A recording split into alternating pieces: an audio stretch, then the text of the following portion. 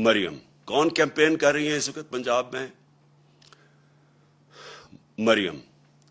ये मरियम वो हैं जिन्होंने सारे टीवी के ऊपर जाके कहा 2014 में इनकी चलती है वो, कि मेरी लंदन तो पाकिस्तान, लंदन छोड़े, पाकिस्तान में भी कोई प्रॉपर्टी नहीं जब ये कह रही थी, इनको नहीं पता था कि दो साल के बाद, क्योंकि अल्लाह अल हक है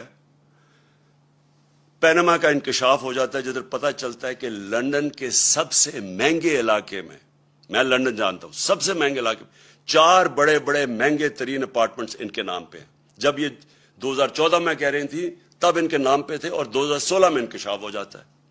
फिर अदालत में जाके इनको सजा होनी चाहिए थी कि ओथ के ऊपर ये कहते हैं, एक कॉन्ट्रैक्ट देते हैं, जिसमें, जिस फॉन्ट जिसे कलेबरी फॉन्ट कहते हैं, वो निकलती है फॉन्ट जिसमें कॉन्ट्रैक्ट लिखा जाता है।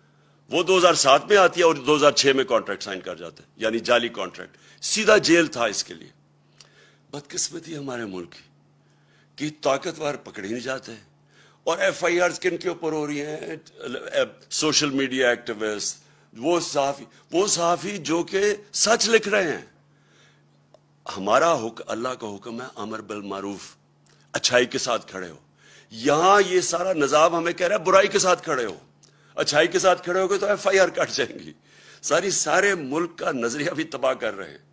रूल ऑफ़ लॉ भी तबाह कर रहे हैं। इदारे भी तबाह कर रहे हैं।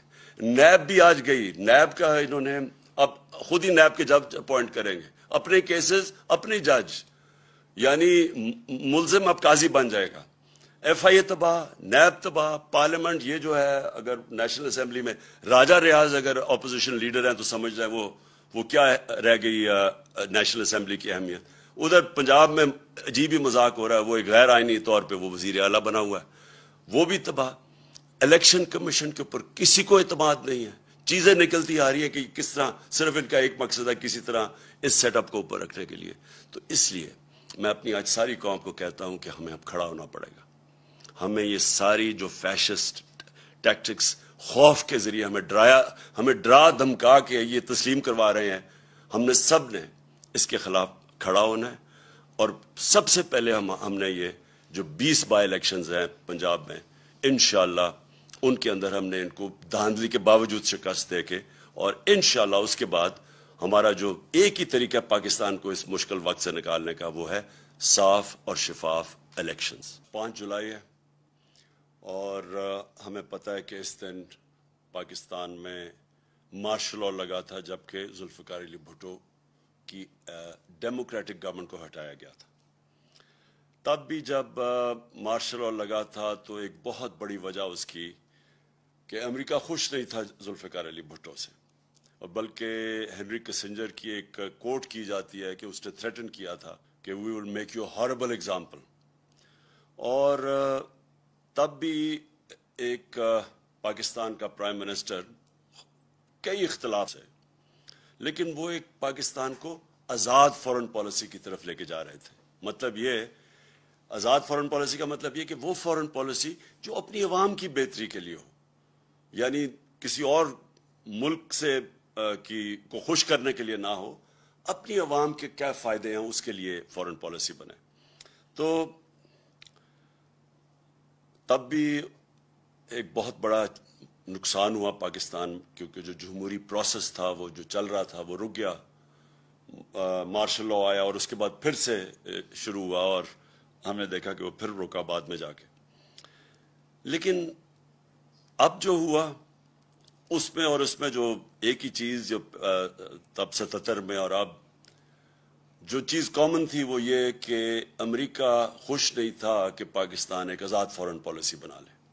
वो चाहते थे कि वही फॉरेन पॉलिसी हो कि हुक्म मिले एक टेलीफोन कॉल आए और पाकिस्तान उनकी जंग में शामिल हो जाए और अस्सी हज़ार पाकिस्तान अस्सी हज़ार पाकिस्तानी जाने उनके लिए कुर्बान कर दे। अपने मुल्क का भी नुकसान करे और आखिर में फिर बजाय हमारा शुक्रिया अदा करने के लिए हमें यह कहा जाए कि जी आपको आ, आ, आपने हमारी मदद नहीं की अफ़गानिस्तान जंग में और हमें ही जिम्मेदार ठहराया। तो जो जो उसका नुकसान हुआ जो हमारे मुल्क में रजीम चेंज हुआ जो उन्होंने यहाँ के मीर जाफ़र और मीर सादक के साथ मिलके जो कि जैसे ही उन्होंने जो लोग हमारे ऊपर मुसलत किए वो पाकिस्तान के हम सब जानते हैं तीस साल से ये वो लोग हैं जिनकी इंटरनेशनल फेम है चोरी की। सिर्फ़ पाकिस्तान में नहीं, दुनिया के अखबारों में एक को टेन परसेंट कहते थे आसिफ जरदारी को। नवाज़ शरीफ के ऊपर बीबीसी की फ़िल्म बनी हुई है कि कैसे इन्होंने वहाँ एक काजी फैमिली को पैसे भिजवाए, इसाक डार ने अपने एफिडेविट में भी लिखा है कि पैसे यहाँ से चोरी करके वहाँ भिजवाए और वहाँ से रेमिटेंस दिखा के पाकिस्तान लेके आए। जो बार बार गया फेक अकाउंट्स यही सिस्टम था यहाँ से हुंडी हवाले से पैसे बाहर भिजवाओ, चोरी करके, और उधर से फिर रेमिटेंसेस दिखा के पाकिस्तान पैसा लेके आओ। तो उसके ऊपर भी फ़िल्म बनी हुई है नवाज़ शरीफ के ऊपर। तो ये वो लोग जो पहले इन्होंने चोरी की, एनआरओ वन मिल गया मुशरफ ने माफ़ किया, फिर से ये दस साल आए, फिर इन्होंने चोरी की। वो जो उनका मकसद जिनको ऊपर मुसलत किया था, उनका सिर्फ़, हम सब जानते हैं कि मकसद था एनआरओ टू लेना। और उन्होंने एनआरओ टू की सिर्फ़ उनकी जो कोशिश साढ़े तीन साल मेरे दौर में, हमें सिर्फ़ गिराने की एक ही कोशिश थी कि किसी तरह वो दूसरी दफ़ा जो उन्होंने चोरी की थी वो बच जाए। अब आज का मैं जो जो असल वजह से मैंने आज ये आपके सामने कौम के सामने हूँ, वो ये कि देखें एक पहले साजिश हुई, फिर एक करप्ट सेटअप को ऊपर लेके आए। और फिर उन्होंने अपना एनआरओ टू लिया और उसके बाद जो कौम को ये कह के आया था कि हम महँगाई कम करेंगे, महँगाई के सारे रिकॉर्ड तोड़ दिए। आज सारी कौम जानती है कि कभी पाकिस्तान में इस तरह की महँगाई इतने थोड़े टाइम में नहीं हुई। और ये सिर्फ़ 2008 में, यानी 22 साल 14 साल पहले इस तरह की महँगाई थी।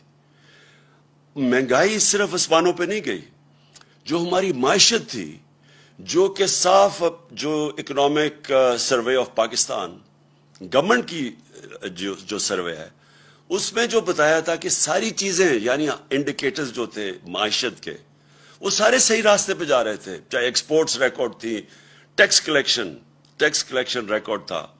उसके बाद जो हमारी ज़रात थी, उनकी बड़ी ज़बरदस्त चार फ़सलों की रिकॉर्ड प्रोडक्शन दो दो साल लगातार रही। तो हर चीज़ जब पॉजिटिव पे जा रही थी जब हमारी आईटी जो फ्यूचर है पाकिस्तान का, उसकी जब हमने जो उनको इंसेंटिव्स दिए, वो भी पचहत्तर फ़ीसद दो सालों में एक्सपोर्ट्स पड़ी थी। तो जब एक मुल्क सही रास्ते पर जा रहा था इंडस्ट्री भी ग्रो कर रही थी, रोज़गार में ये सबसे बर सगीर में वर्ल्ड बैंक की सर्वे, सबसे ज़्यादा रोज़गार पाकिस्तान दे रहा था। उस वक्त के ऊपर यह साजिश की गई। और फिर, जब लोग पहले ही तंग थे, पहले ही कौम की खुददारी जाग गई कौम ने जब देखा तो ये कोई भी नहीं समझ रहा था कि इस तरह पब्लिक सड़कों के ऊपर निकलेगी। मैं अपने, मैं सच बताऊँ, मैं भी नहीं समझ रहा था इस तादाद में पब्लिक निकलेगी। उमूमन तो लोग जब हुकूमत जाते हैं, खुशियाँ मिठाइयाँ बांटते हैं तो पब्लिक सड़कों के ऊपर आ गई। ये कोई भी जो साजिश करने वाले थे, उनके जहन में भी नहीं था कि इस तरह पब्लिक सड़कों पर निकलेगी।